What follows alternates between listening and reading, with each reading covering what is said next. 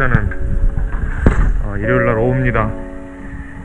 이제는 가을비가 겨울비죠? 예, 겨울비가 많이 와서 아무것도 못하고 있습니다.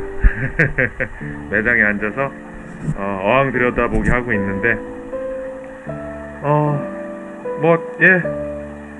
어항 가까이서 한번 오늘 봅시다. 예. 어항에다가 어 지금 요 카메라 방수거든요 액션캠이. 액션캠 방수 카메라니까. 음, 비 오는 장면 잠깐 봤는데 예, 이번에는 어항 속 한번 들여다보죠 예. 어항 속으로 들어갑니다